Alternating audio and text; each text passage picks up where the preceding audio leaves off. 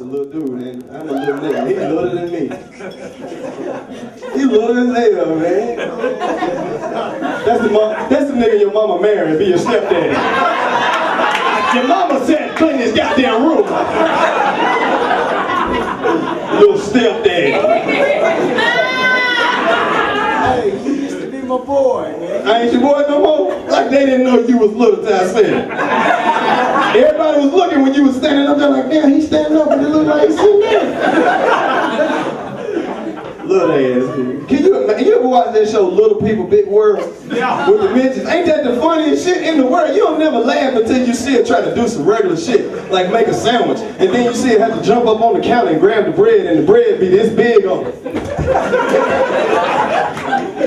Then she make the sandwich and you see a midget with the little midget hand trying to eat a big sandwich. It look like it's a big sandwich, but it's a regular sandwich. She's got little hands. And it's fucked they got some kids that's midgets and then some kids that's regular. How the hell can you control the regular kids? You a little ass midget. Well, you can go out, but you got to be back at 10. Bitch, I'll be back when I want to. I'm gonna put y'all little ass in the crib.